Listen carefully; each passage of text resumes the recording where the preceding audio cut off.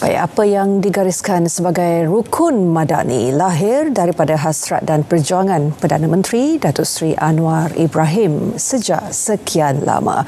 Dalam konteks ekonomi, bagaimana konsep Malaysia Madani mampu menjadi wahana perubahan yang diinginkan rakyat Malaysia eh, selain daripada pelabur luar untuk menarik terus menarik minat mereka untuk um, melabur uh, di Malaysia. Persoalan ini saya nak ajukan kepada pengurus kanan penyelidikan Institut Darul Ehsan IDE iaitu Tuan Khairul Arifin Muhammad Munir di studio bersama saya ketika ini. Tuan Khairul, terima kasih kerana meluangkan masa Baik, sama-sama. untuk bersama kami. Uh, mungkin persoalan pertama, uh, kalau boleh dikongsikan terlebih dahulu, uh, apa perkara pertama yang terlintas di fikiran ataupun yang paling menarik perhatian uh, Tuan Khairul apa ketika mendengar uh, mengenai konsep Malaysia Madani ini? Um, saya bagi saya ada beberapa perkara yang menarik lah apabila Datuk Seri Anwar Ibrahim Perdana Menteri kita hmm. memilih untuk uh, meletakkan slogan Malaysia Madani. Ya. Yang pertama kerana ianya terimbau uh, bahawa persoalan ini bukan perkara baru. Beliau dalam uh, hidupnya sebagai seorang aktivis mahasiswa ya. libat dalam NGO malah pernah menjadi uh, timbalan Perdana Menteri satu ketika itu. Saya ingat dalam sekitar tahun 1995 di Indonesia beliau telah mengungkapkan membentangkan uh, kertas kerja tentang uh, masyarakat madani. Ya. Kemudian disusuli pula di Kuala Lumpur tahun berikutnya 1996 juga tentang masyarakat madani. Ya. Jadi itu satu perkara yang beliau passion di sebalik apa uh, apa penceritaan uh, Madani tersebut dan sehingga akhirnya uh, beliau mengeluarkan buku membangun negara Madani mm-hmm.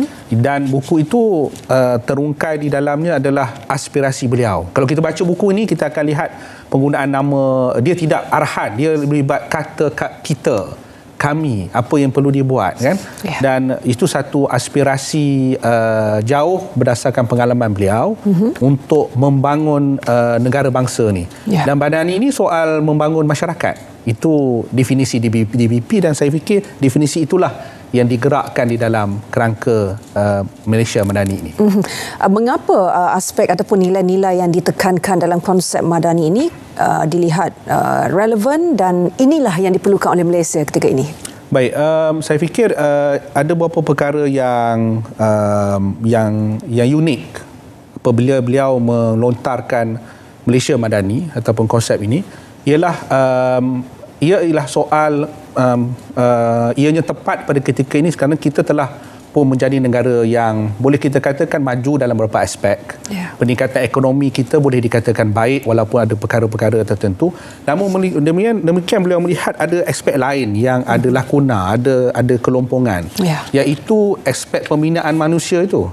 Jadi okay. kalau kita nak bercakap soal membina masyarakat, membina tamadun dalam hmm. konotasi madani itu sendiri, yeah. kita harus juga melihat soal membina player ataupun mereka yang di dalam dalam uh, masyarakat, civil society, masyarakat civil, rakyat yeah. dan sebagainya. Dan rakyat ini uh, dan apabila Malaysia di uh, apa berhadapan dengan isu integriti, isu rasuah, apa apa menyebabkan kita malu di eh, di, di dalam beberapa isu-isu dunia.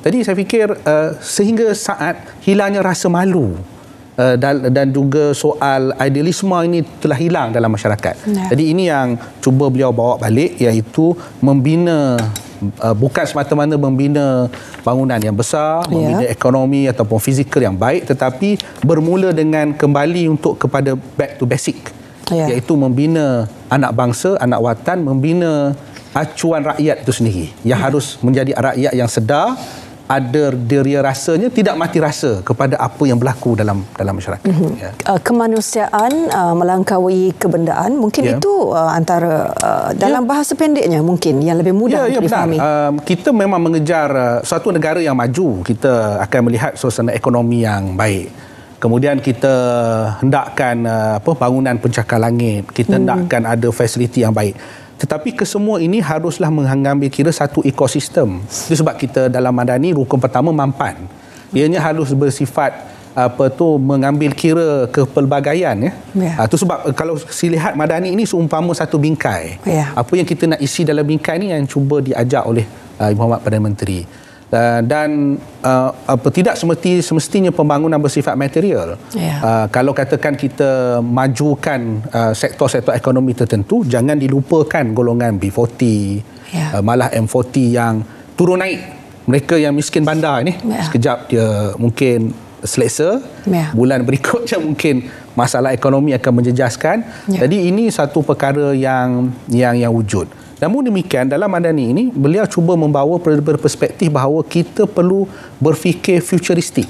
Itu sebabnya dalam naskah Madani ini uh, Datuk Seri juga mengadunkan uh, apa ni konsep pemikiran masa depan. Dalam konteks ini dia memilih post normal ataupun pasca normal Baga- bagaimana dia nak mengajak rakyat ataupun pembuat-pembuat polisi yeah. supaya uh, alert kepada perkara-perkara yang di luar jangka. Okay. Uh, se- seperti contohnya perkara perpaduan mm-hmm. politik of identity yang yeah. sepatutnya tak ada masalah dah dalam konteks demokrasi negara tapi kembali balik yeah. pandemik COVID-19 uh, soal apa ni uh, uh, isu-isu global yang menjadi paksi kepada uh, memberi kesan nanti untuk pada Malaysia. Jadi ini harus diambil kira. Yeah. Jadi perancangan di situ ialah bukan perancangan jangka pendek tetapi ialah perancangan jangka panjang. Yeah. Namun demikian ada beberapa perkara-perkara yang perlu diberi keutamaan. Yeah. Ha, saya ingat ini kata kunci dia ya. dalam kita menzahirkan pemikiran ini. Dalam perkara-perkara yang hmm. uh, akan diberi keutamaan, yang dijangka akan diberi keutamaan, kalau mengikut pandangan Tuan Khairul, adakah aspirasi Madani ini uh, dilihat memberi isyarat uh, besar dalam perubahan hala tuju dasar ekonomi negara selepas ini? Bagi saya, uh, apa Datuk Seri Anwar dia sebut dalam ucapan beliau, ya. uh, khususnya ketika meluncurkan kembali naskah membangun negara madani ini pada mm-hmm. 19 Januari yang lepas bahawa uh, sasaran beliau ialah membina manusia lah, membina rakyat.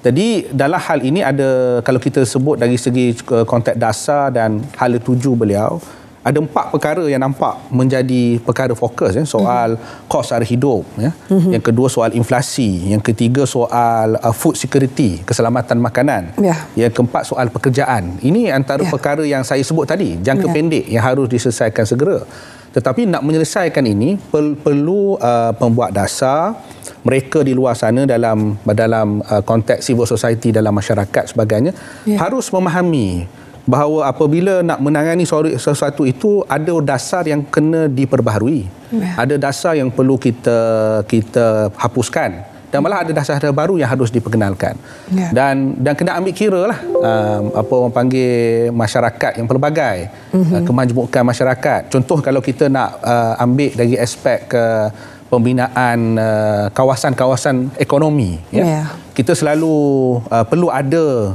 uh, kajian sebelum satu ekonomi nak dibangunkan mesti hmm. ada social impact assessment yeah. kajian impak sosial yeah. kita kena lihat contohnya biasanya kalau kita nak bangun kawasan sisi pesisir pantai nelayan yang selesai ada tu kadang-kadang telah berada di situ 100 tahun yeah. dikeluarkan daripada kawasan lokasi ke tempat lain hmm. sedangkan mungkin kita boleh ada pembangunan bersama yang disebut uh, oleh uh, di dalam ni soal mampan dan juga kita hormat itu uh, kita mungkin ada pembangunan bersama kita wujudkan seperti mana negara-negara maju ada port nelayan tradisional mm-hmm. uh, yang yang turut sama-sama merasai pembangunan itu dimajukan oleh pemaju swasta Uh, jadi sama juga apabila kita memajukan gedung-gedung uh, perniagaan di di luar sana di sekitar Kuala Lumpur. Yeah. Datuk Seri sebut bahawa soal uh, gerai-gerai di tepi jalan jangan dipinggirkan bagaimana mereka boleh dibantu dengan kita membuat sedikit nilai tambah kepada gerai-gerai baru dan mereka ditawarkan untuk sama-sama berniaga dalam satu ekosistem ekonomi yang yang saya sebut tadi yang kita sebut tadi soal mampan uh, ada dasar hormat ada dasar keyakinan dan sebagainya. Okey. Dalam konteks ekonomi bagaimana aspirasi Madani ini uh, akan uh, mungkin boleh uh, diterjemah dalam bentuk-bentuk langkah-langkah yang konkret. Uh, Tuan Khairul terhapus serba sedikit menyatakannya tadi uh, dari da- dalam bentuk dasar pembangunan dan juga dasar perumahan. Uh, bagaimana rakyat uh, selepas ini boleh dijangka meraih manfaat yang uh, daripada dasar madani yang akan diterjemah kepada langkah-langkah konkret? Uh, dalam naskah madani ini dia seolah-olah Datuk Seri meletakkan sasaran akhir dia. Yeah. Okey, itu ideal. The end goal. Ya, yeah, the end goal, ideal. Yeah. Nak bagi uh, kita bila kita baca seolah-olah wow, ini satu perkara yang best lah. Yeah. Kalau ada the end goal. Uh, sama juga kalau kita baca falsafah-falsafah tengka-tengka macam apa tu Al-Farabi menyatakan apa Madinatul Fadilah. Ini satu benda yang metafor yang hebatlah yeah. negara. Itu end goal. Tapi sebenarnya uh, dalam rangka polisi dan sebagainya yang biasanya selalu kita tinggalkan ialah proses perubahan. Yeah. Jadi dalam konteks ekonomi ni kita harus berhati-hati dalam proses ke perubahan nak pergi kepada angle tadi. Yeah. Jadi proses perubahan ini kita harus rancang. Rancangan yang jangka panjang. Um, ada perancangan yang dilakar harus mendengar nilai-nilai suara-suara di bawah sana. Yeah. Uh, bagi saya kajian harus dibuat. Jangan sebarang polisi yang dibuat itu tanpa ada latar kajiannya. Dan dia harus tepat. Saya ambil contoh ya ke di Institut Darul Ehsan kita banyak buat uh, kajian tentang beberapa inisiatif-inisiatif ekonomi. Yeah. Saya ambil contoh uh, ada beberapa inisiatif ekonomi peringkat negeri Selangor seperti uh, apa inisiatif peduli rakyat. Uh, kita bagi bantuan kepada uh, apa peniaga-peniaga ni. Mm-hmm. Bila kita tanya pada peniaga adakah mereka hendak uh, meningkatkan diri dia kata hendak. Tapi kalau pergi kursus yeah. mereka diberhentikan untuk meniaga, yeah. hantar pergi kursus dia tak jadi. Yeah. Mereka nak coaching. Yeah. Ha, dia nak dia nak ada orang lain yang datang berjumpa dengan mereka, coach dia bagaimana nak pergi lebih jauh. Yeah. Jadi yang ini saya fikir antara nilai-nilai baru, uh, konglomerat berat besar boleh apa bekerjasama dengan startup-startup baru mm-hmm. untuk apa orang panggil uh, supaya memberi peluang kepada uh, player-player uh, baru ni. Sebab yeah. kalau saya kami bersembang dengan generasi muda, dia tak nak dah bekerja makan gaji dia hendak usahakan sesuatu yang baru dan memberi peluang pekerjaan ya memberi peluang pekerjaan kepada ya. mereka dan mereka hendak sama-sama dibantu. Ah ya. itu dia. Ya, ya. ya. Di bawah konsep Madani ini Perdana Menteri turut berkata ya, negara perlu berhenti taksub uh, ataupun uh, sewenang-wenangnya mengukur kekayaan melalui pembangunan ekonomi dan angka semata-mata. Hmm. Uh, uh, dan sebaliknya pertumbuhan dan pembangunan mesti dicapai melalui konteks ekonomi kemanusiaan yang lebih besar. Mungkin selepas ini KDNK itu bukan lagi penanda aras utama uh, pembangunan uh, ekonomi negara. Bagaimana pemerhatian Tuan Khairul? Okey, uh, kalau kita nak kata uh, soal uh, KDNK benchmarking ini tak ditolak langsung, saya fikir uh, kurang tepat. Yeah. Kerana ia memberikan sedikit landasan apa yang berlaku. Yeah. Tapi value added yang cuba dibawa oleh mm-hmm. uh, yang Muhammad Perdana Menteri kita adalah mm-hmm. dalam kita mengkaji uh, dasar-dasar ekonomi menggunakan kaedah makro dan mikroekonomi, yeah. KDNK, kajian apa ni penggunaan pasaran apa sebagainya kadang-kadang di dalam kajian-kajian tersebut ada titik-titik buta. Yeah. Yang yang kita mungkin terlepas pandang mm-hmm. yang kita sebut the real economy, ekonomi yang berlaku di bawah masyarakat. Yeah. Yang dalam dalam dalam research, dalam kajian ia memerlukan pengubahsuaian. Yeah. Ha, jadi itu sebabnya uh, beliau mengemukakan konsep ekonomi manusiawi. Mm. Jadi ekonomi yang memperkukuhkan capital market itu tapi dalam masa sama tidak boleh diabaikan elemen-elemen sosial yang berada mm-hmm. di dalam masyarakat melihat bagaimana sebab bagi saya pembangunan ekonomi itu harus um, apa tu berbeza ya antara mhm. bandar dan luar bandar yeah. kita pun dah ada miskin bandar istilah miskin bandar yeah. dan mereka di luar bandar dan kita juga perlu uh, harmonikan di antara uh, apa semua sektor-sektor ini dan ambil contoh kalau dari segi makanan dan sebagainya perlu ada galakan untuk uh, kita mempunyai selain daripada bergantung pada ekspor dan import kita yeah. kena ada uh, food local yang dibangunkan sendiri maknanya graduan kita diberikan peluang sebagai petani moden ada dia punya bantuannya dan yeah. um, apa dan diubah uh, isu-isu ketirisan dan ya. sebagainya ini supaya mereka dapat pergi dengan lebih jauh lagi. Ya, ya. ya. Uh, kalau saya boleh petik uh, uh, di dalam buku naskah membangun Malaysia Madani ini muka 175 uh, di mana disebut di sini untuk memahami uh, masalah besar yang dihadapi di Malaysia, uh, kita akan mengumumkan semakan semula garis kemiskinan taraf kos sara hidup, gaji bersesuaian atau minimum dan petunjuk ekonomi lain dan penetapan semula pemantauan dan pelaporan supaya kita boleh melihat dengan lebih jelas ya. isu-isu ekonomi yang menimpa rakyat. Ini menarik sekali memberi bayangan bagaimana mungkin selepas ini ada angka-angka penting ya. yang akan disemak semula dan diumumkan kerajaan sebagai ya. penanda aras baharu. Ya. Dan rakyat pastinya tenanti-nanti gaji minimum ini Tuan Khairul? ya, saya fikir antara bergagasan besar apa tu selepas peluncuran 19 uh, apa Januari yang lalu ya. yang lepas adalah bajet lah. Ya. So, sebab ya. belanjawan itu pun dinamakan belanjawan Malaysia Madani. Mm-hmm. Jadi itu satu perkara yang ditunggu-tunggu oleh oleh rakyat. Ya. Uh, cuma mengambil kira dari segi kerangka pemikiran Datuk Seri Anwar Ibrahim, dia ya. beliau akan menggunakan konsep yang meluas mm-hmm. uh, mencerakinkan data-data yang ada yeah. tapi dalam masa yang sama ada ada plan tindakan yang harus dibuat um, uh, secara nyata dan real yeah. untuk kita lihat uh, apa masalah di di di bawah sana kadang-kadang uh, kita sebagai pegawai kerajaan, saya sebagai penyelidik, yeah. kita tidak turun ke bawah merasai yeah. apa yang berada di masyarakat kampung. Yeah. Dan kami selalu buat uh, kajian bila kita turun ke bawah, kadang-kadang mereka ni ada idea-idea yang kreatif dan luar biasa yeah. yang ya. kita tak tak tak nampak dan penyelesaian bagi saya harus bersifat domestik. Yeah. Uh, tak tidak boleh pukul rata kerana apa yang berlaku di Sabah Sarawak berbeza di Semenanjung